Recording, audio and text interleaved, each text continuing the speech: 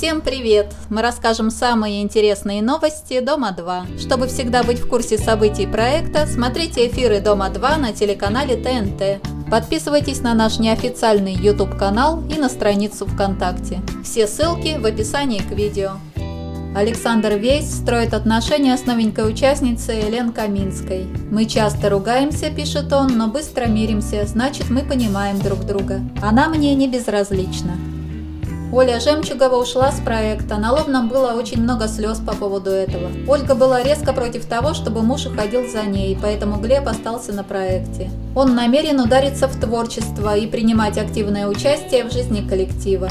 Ольга сказала, что есть мизерный шанс на то, что они снова сойдутся, но всего лишь 10% из 100. Ольга уже сняла на время квартиру, потому что та жилплощадь, которую она выиграла, будет готова только в декабре. Глеб написал в своем блоге «Я был неправ, я был словно глухонемой и слепой. Спасибо тебе за твою смелость. Сделаю все, чтобы опять обрести счастье, счастье в твоих объятиях». На проект пришли две новенькие девушки. Одна из них, Эрна, выразила симпатию Глебу. Она молодая, симпатичная и занимается танцами, все как он любит. Еще одна девушка, 23-летняя Юля, пришла к Диме Дмитренко. А Диме никто не нужен, кроме его любимой Ольги Рапунцель. Он продолжает баловать девушку подарками, заказал букет роз. Радуйте, балуйте своих любимых просто так, без повода, как это делаю я. Когда Дима ездил домой, он собрал все свои деньги, и сейчас он пустил их в оборот. Дмитренко занял Андрею Чуеву под проценты 400 тысяч рублей. Илья Ебаров подарил кольцо Кате Кауфман и сделал предложение. И, конечно же, ребята будут участвовать в конкурсе «Свадьба на миллион». Ебаров рискует оказаться третьим по счету мужем, потому что Катя до сих пор не развелась. По паспорту она все еще Саркисян, девушка носит фамилию мужа номер один. А на Сейшелах, как вы помните, их с Венцем расписал представитель посольства Российской Федерации, так что Венц ее второй муж. В перископе Катя и Илья рассказали следующее, что мама находится в шоке от их решения.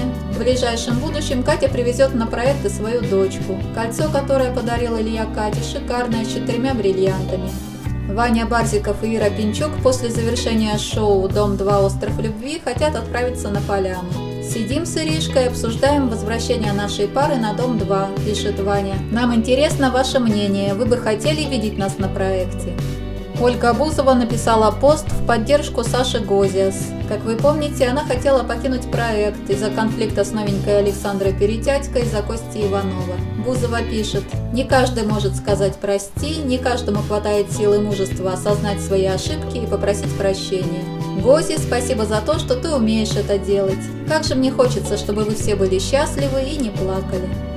Марина Африкантова и Андрей Чуев продолжают отдыхать и веселиться в Дубае. Марина пишет, с каждым днем остаются самые стойкие. Мы спим по 3-4 часа, и нам этого времени хватает. Нет времени даже фотки и видео выставить, а их уже столько набралось. Зрители проекта обсуждают пошлое поведение Андрея и Марины. На днях в эфире показали, как Андрей без стеснения залез в трусы своей избранницы. Марина не стала одергивать мужчину, она поддержала его, рассадорила, демонстрируя удовольствие. Большинство зрителей сказали, что эти сексуальные игрища вызывают отвращение.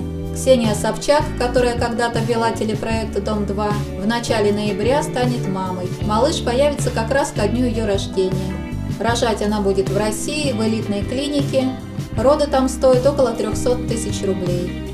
На этом все. Спасибо, что были с нами. Ставьте лайки, комментируйте, подписывайтесь на наш канал на YouTube и на страницу ВКонтакте. Ссылки ищите в описании к видео. И не забывайте смотреть эфиры Дома 2 на канале ТНТ.